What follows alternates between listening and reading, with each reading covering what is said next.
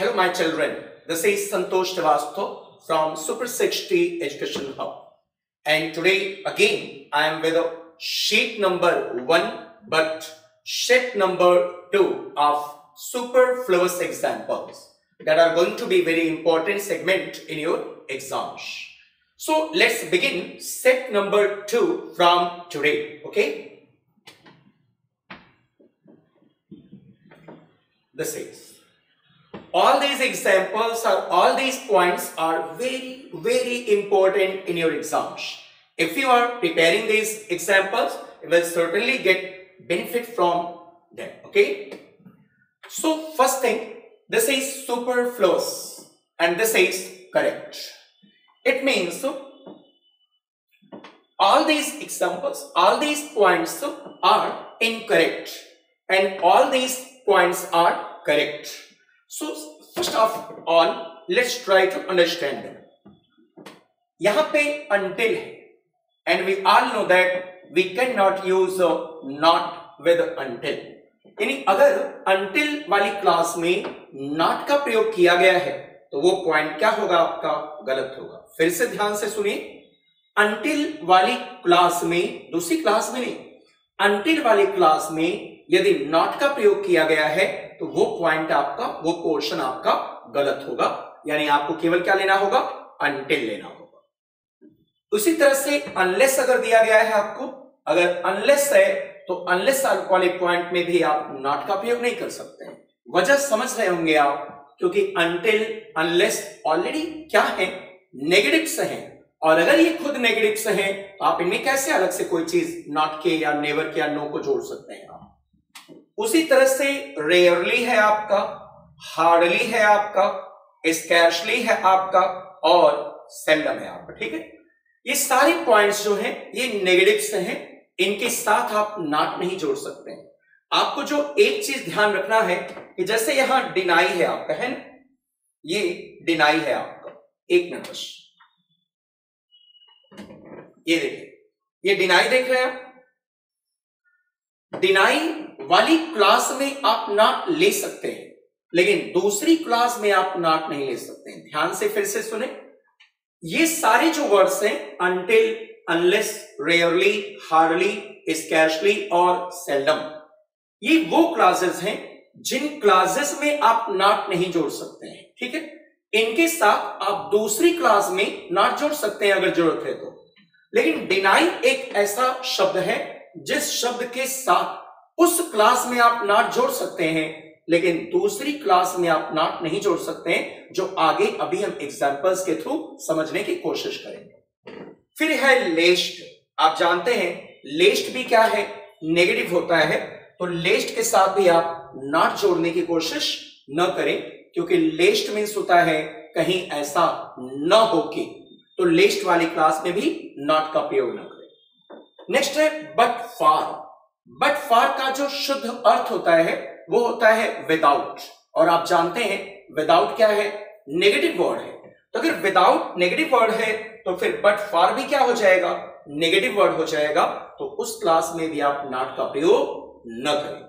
और लास्ट है बेयरली जैसे आपका रेयरली है हार्डली है स्कैचली है, ठीक वैसे ही आपका बेयरली है तो इन चारों के साथ आप नॉट का प्रयोग नहीं करते हैं.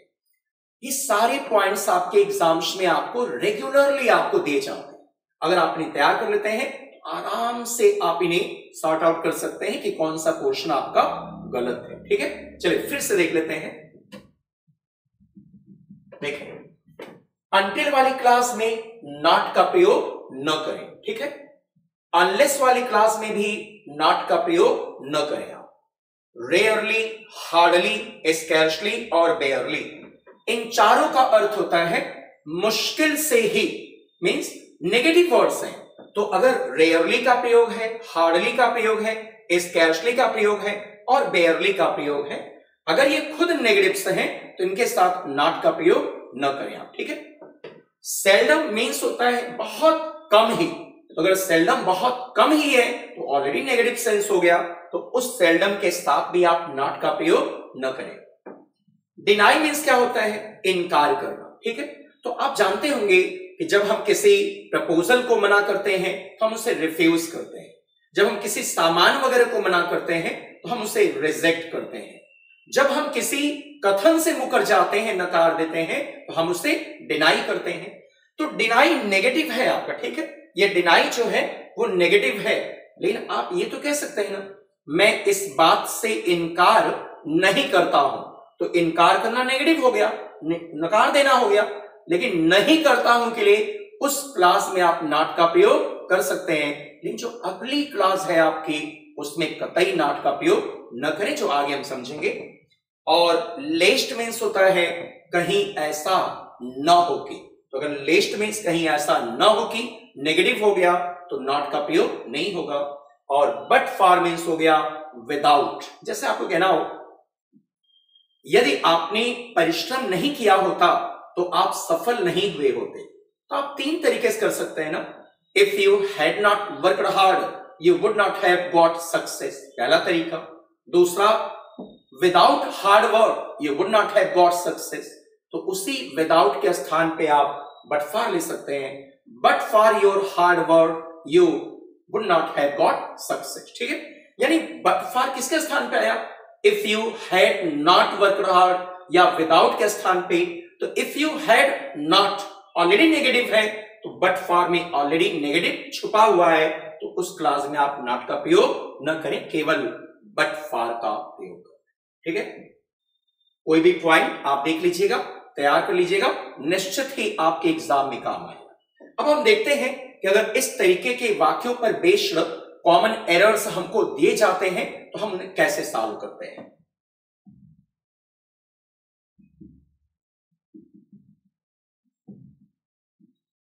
देख ये है। He did not deny he did not deny यानी उसने इनकार नहीं किया।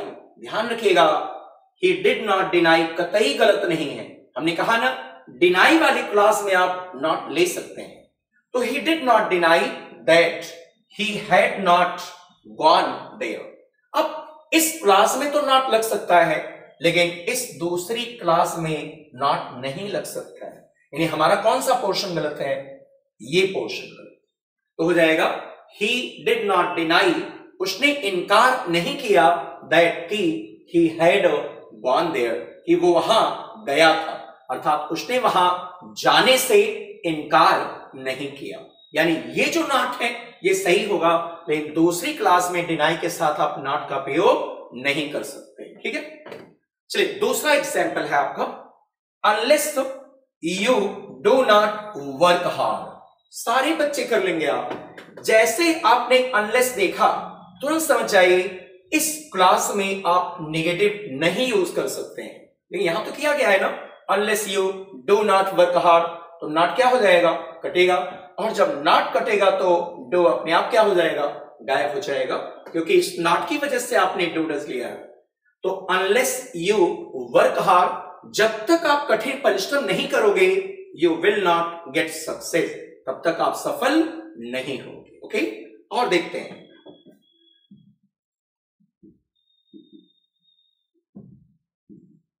This is he had hardly not completed his work. He had hardly not, hardly तो खुद क्या है? नेगेटिव है आपका। हाल में मुश्किल से ही न के बराबर तो अगर हार्डली खुद नेगेटिव है तो यू वॉन्ट यूज़ नॉट हो जाएगा? He had hardly completed his work अभी उसने मुश्किल से ही अपना काम समाप्त किया था वेन जब हिज फादर कॉल्ड हिम उसके पिता ने उसे बुला लिया। आप ये भी जानते होंगे, जब यहाँ हार्डली है तो इसका जो कॉम्बिनेशन है, वो किसके साथ होगा? वेन के साथ। एग्ज़ाम में आप जानते हैं देन दे दिया जाता है तो हार्डली के साथ कभी भी देन न ले। हमेशा क्या ले आप? वेन का प्रयोग करें। इवन हार्डली के साथ नहीं, हार्डली रेयरली स्कैशली और बेयरली के साथ क्या लगाते हैं? वेन अगर ज़रूरत है तो दूसरी क्लास जुड़ रही है तो। और सेल्डम के साथ क्या लगता है? आर या जैसा होता है ना, जैसे सेल्डम इफ़ एवर होता है और सेल्डम आर नेवर तो सेल्डम आर अगर है तो फिर नेवर आता है और सेल्डम इफ़ है तो एवर आता है। इस पे हम आगे भी आएँगे। तो यहाँ पे वेन सही है, हमारी गलती क्या है? हार्डली के साथ नॉट का प्रयोग न करें। सेकेंड लास्ट आपका है वर्क हार्ड कठिन परिश्रम करो आप लेस्ट कहीं ऐसा ना हो कि यू शुड जैसे आपने लेस्ट देखा तो आप जानिए नॉट का प्रयोग क्या है आपका? गलत है। है ना? यानी वर्क हार्ड आप कठिन परिश्रम करो लेस्ट कहीं ऐसा ना हो कि यू शुड फेल कि आप क्या हो जाओ, आप असफल हो जाओ। जैसे बहुत सारी टीचर्स या बहुत सारी किताबें ऐसा कहती हैं कि लेस्ट के साथ आपको शुड लगाना होता है।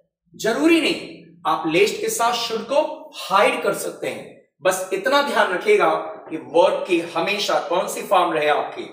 फ़र्स्ट फॉर्म रहे। यानी शुड लगा भी सकते हैं शुड लगाएँगे तो भी क्या होगी? वर्ब की फ़र्स्ट फॉर्म और शुड हटा भी सकते हैं। बस ध्यान रखिएगा वर्ब की फ़र्स्ट फॉर्म ठीक है? यानी लेस्ट वाली क्लास में क्या नहीं आ सकता है? नॉट नहीं आ सकता है। लास्ट है आपका।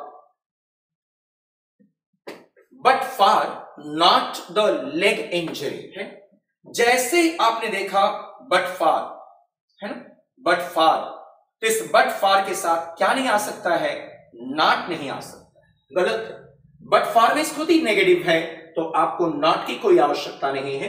तो but for the leg injury यानी अगर उसे लेग इंजरी नहीं हुई होती ही सफर्ड लास्ट ईयर जो लेग इंजरी उसने पिछले साल सफ़र किया, यदि ऐसा नहीं हुआ होता तो he would probably have been picked तो शायद उसे चुन लिया गया होता फॉर द नेशनल टीम राष्ट्रीय टीम के लिए बाई नाउ अब तक. यानी यहाँ बट फॉर खुद आपका क्या है? नेगेटिव है तो आपको यहाँ नॉट लेने की कोई आवश्यकता नहीं है. ये पाँच पॉइंट्स हैं, चूँकि हार्डली रेयरली स्कैरसली और बेयरली एक ही पॉइंट थे तो जहाँ मैंने हार्डली दिया है, वहाँ आप चारों पॉइंट समझ सकते हैं। बस इतना ध्यान रखें, हार्डली, रेयरली, बेयरली और स्कैरसली के साथ नॉट न लें और इनका कॉम्बिनेशन हमेशा क्या रखें आप? वेन के साथ रखें, ठीक है? इसे ज़रूर तैयार करिएगा। हर एग्ज़ाम में अगर आप सी एच का दे रहे हैं, वहाँ भी काम आएगा। सीजीएल का दे रहे हैं, वहाँ भी काम आएगा। और आगे सीपीयू एसआई का पेपर है, वहाँ भी ये पॉइंट्स आपके काम में आएँगे।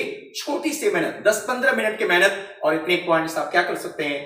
तैयार कर सकते हैं। क्योंकि आज मेरी मैरिज एनिवर्सरी थी तो थोड़ा सा लेट हो गया। आप फिर से इसे रेगुलर करेंगे। आज भी आपको मिल रहा है बट थोड़ा सा लेट हो गया। I totally beg my pardon तो बाकी चीज़ समझने की कोशिश करेंगे, तैयार करेंगे। कल फिर आपसे हम प्रीपोजिशन के साथ नेक्स्ट सेगमेंट यानी प्रीपोजिशन का सेट टू के साथ आपसे फिर मिलेंगे। Thank you